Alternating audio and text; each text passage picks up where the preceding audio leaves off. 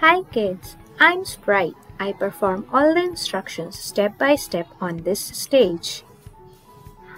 Let me help you in identifying different parts of Scratch window.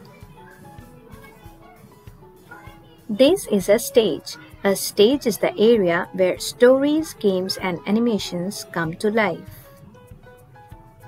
This is a script area. The sequence of step-by-step -step instructions are given here.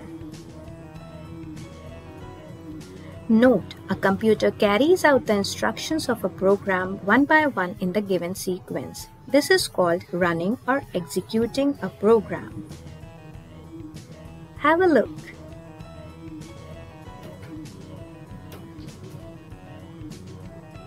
Did you see that? How by adding one of the instructions, the sprite is also moving? Well, this is a block palette.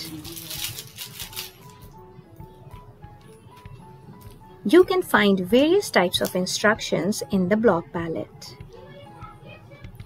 A collection of stepwise instructions given to a sprite to perform a task is a script. The script for the sprite is written in this script area. A script is also called a program and each instruction is called a command.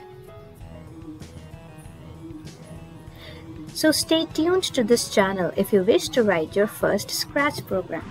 Thanks for watching.